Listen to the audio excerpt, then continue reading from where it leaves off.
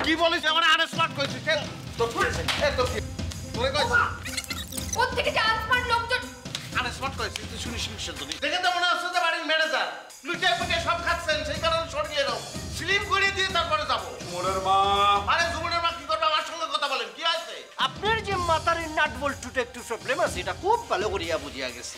আমি আসলে বাবুর্চি সব এই!